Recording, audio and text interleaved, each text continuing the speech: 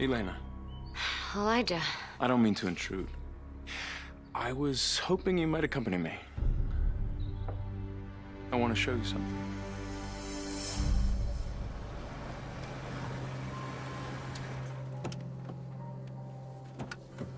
Forgot how much I missed this land. I can't even imagine what it must have been like a thousand years ago. You know your school was built over an Indian village? Where I saw my first werewolf.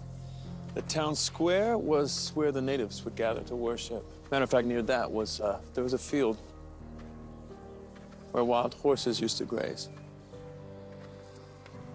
That's incredible. Come. Do you know this place too? I do. Below us is a cavern I used to play in as a boy. It connects to a system of tunnels that stretch across the entire area. That's just nature's way of providing us with shelter against the savagery of the full moon. My mother said, there must be a balance. Elijah, I should probably go home. I admire you, Elena. You remind me of qualities I valued long before my mother turned us. It's not in your nature to be deceitful, and yet, when I asked you about your meeting with my mother the other night, you lied to my face.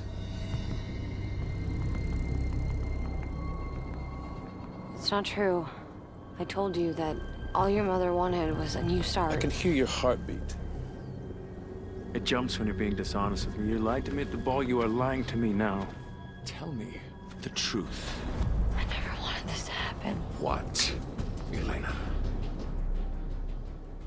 We were told that whatever was going to be in that coffin was going to kill Klaus. When we found out that it was your mother, we didn't know what to think. Since her return, she said she only wants his family whole again. When she asked to see me, I... I thought that maybe she could help. That she would find a way to kill Klaus.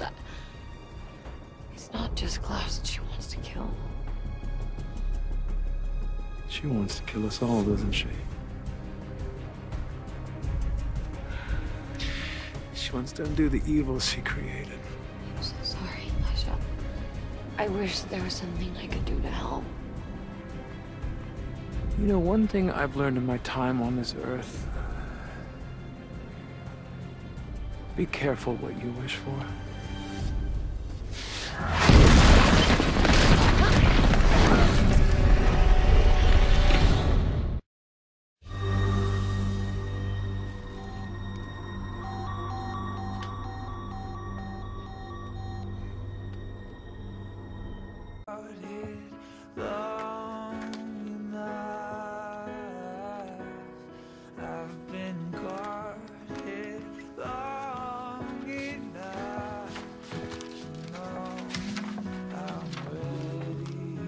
Elena, today I did things I abhor to protect the one thing I value most my family.